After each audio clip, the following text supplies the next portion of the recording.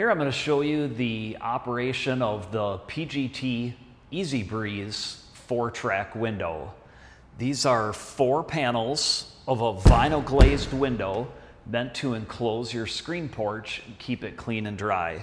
When you push all the window panels up to the top, you open up 75% airflow through the screen. You can also bring all the windows down to the bottom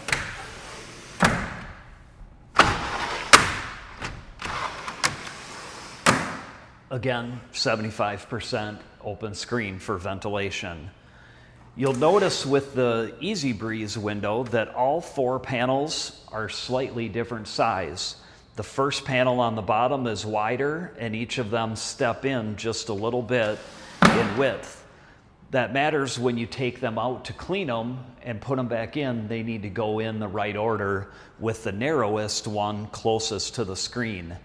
This aluminum track actually is, cascades in and that creates the, the need for the different size panels.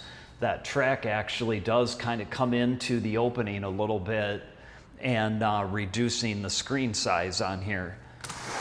To take the panels out, these push button pins are what push in to allow the panel to come out.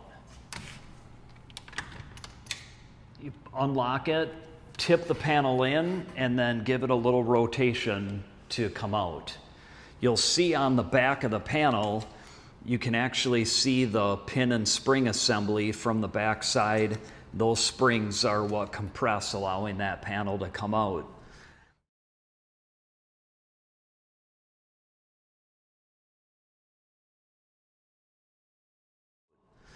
This is actually on the back side. Uh, you can see that it's a hollow channel.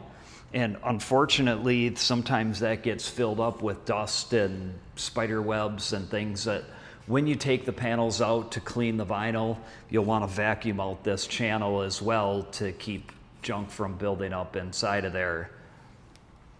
To put the panel back in, we simply get the first pins into the track, making sure that we're putting that into the proper channel.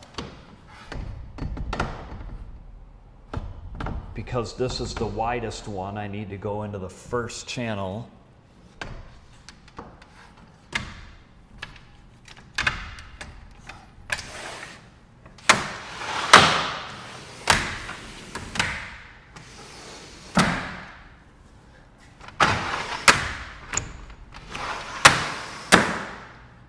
These channel or the tracks on the side are metal, so there isn't any kind of an insert in here. This is, the whole frame is aluminum.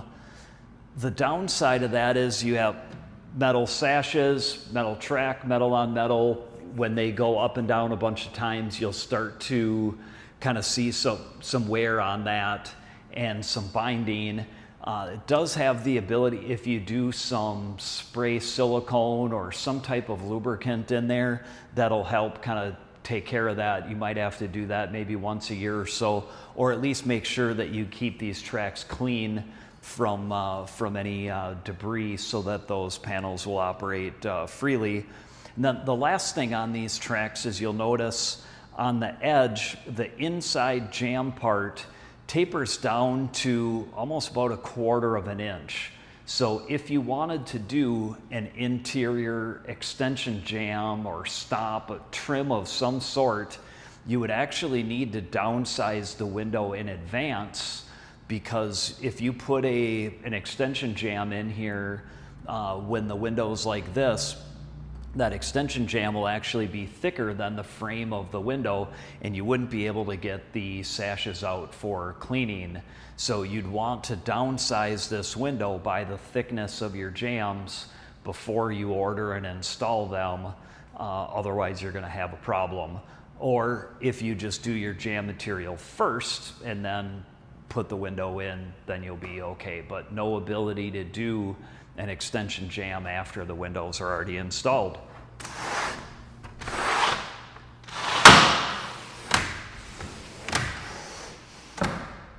That is the PGT EzeBreeze vertical four track window. This is the Weathermaster vertical four track window made by Sunspace.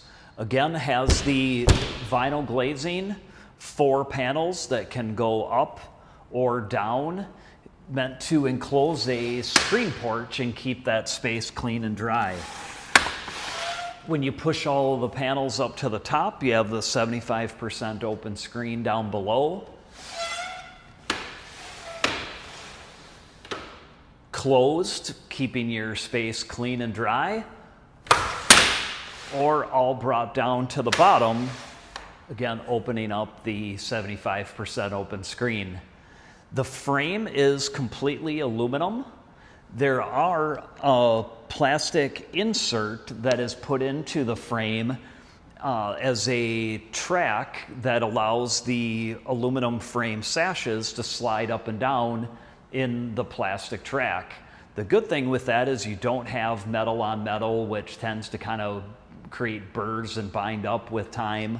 Uh, these tracks will uh, do need to get cleaned out sometimes. If you get uh, a panel that's starting to feel like it isn't sliding freely, you can take a rag with some soap and water and just wipe those tracks out to get it back to a good operation. I do find that those tracks, here's a uh, piece that I cut off of one of those, they do have quite a bit of flex to them. And in the darker colors, I have seen that they are prone to deforming where they actually melt in the sun. And so if you were to find that you see some waves in these channels uh, after having been out in the sun, it is, that has been something that we've seen happen before. With the aluminum window sashes, these do come out for cleaning by compressing to the left. So there's springs on the left side, you push it to the left, and that's how the panel comes out for cleaning.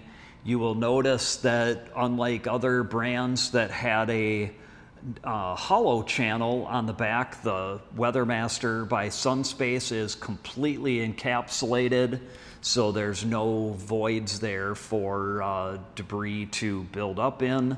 Uh, that's definitely a nice thing. They do have these 90 degree corner keys. This is what uh, connects the different parts of the sash together. This is a plastic piece that, that holds those corners together, and I have seen those break from time to time. The only part on here is this D-spring that's on the left side.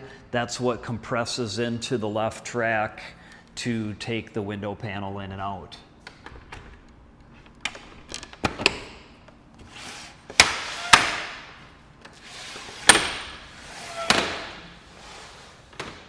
That is the Weathermaster four-track window by Sunspace. This is the Xtend vertical four track porch window made with a vinyl glazing to enclose your screen porch and keep it clean and dry.